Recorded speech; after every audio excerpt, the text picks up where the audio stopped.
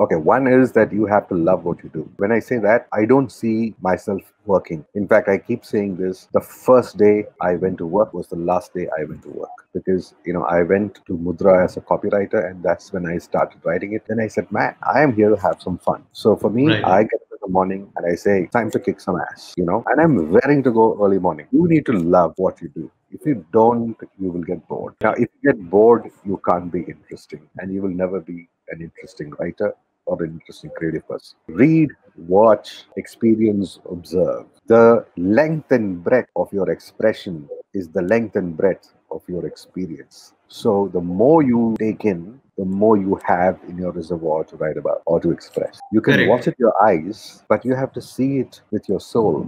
Only Yeah. then will it stay inside. You have to absorb it. I mean, seeing a postcard of a lake is not as good as sitting by the lake and enjoying it. Because when you look at the postcard or a video, especially on mute, you're missing the sounds of the waves of the little riplet ripples.